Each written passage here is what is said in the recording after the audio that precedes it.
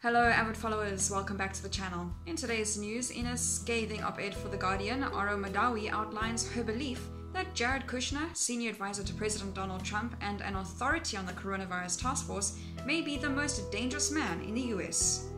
Mahdawi pointed to Kushner's first public appearance at a White House coronavirus press briefing on Thursday and the glaringly obvious danger he poses. She noted Kushner has been able to fly under the radar thus far due to his wooden demeanor.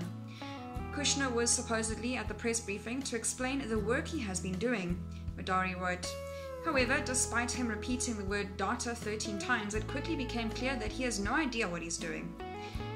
It, there was a moment during the appearance which was slammed by Vox writer Aaron Rupar for its use of empty corporate buzzwords. That drew the particular attention of critics.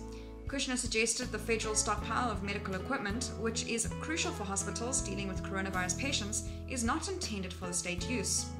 It's supposed to be our stockpile, he said, which Mahdawi suggested reflected his lack of understanding of the supply.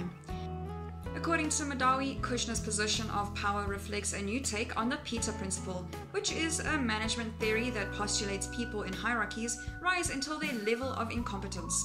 She suggested that Kushner reflects a correlation to the Peter Principle. The idea that a handful of mediocre middle managers, through a combination of privilege and luck, manage to rise way beyond their level of incompetence to a point where their hubris poses a serious threat to the world.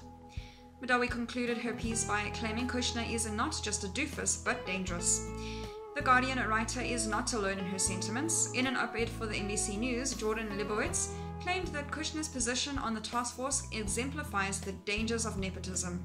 He suggested Kushner's authority on the task force is putting American lives at stake. In this sense, Libowitz wrote in the situation was different from the standard Trump family grit. Libowitz noted the private nature of COVID-19 task force, which casts a shadow over Kushner's work. He was appointed to the 39-year-old investor's past troubles with his financial disclosures as a cause for concern. For example, Kushner previously failed to disclose his co-ownership of Cadre, a real estate investment company, which likely benefited from the opportunity zones he and his wife Ivanka Trump championed. The tax breaks of the Kushner family would potentially receive is just one of many opportunities for the corruption that exists within the Kushner shadow. Coronavirus Task Force. That is all for today's news. Thank you very much for watching, and I'll see you next video.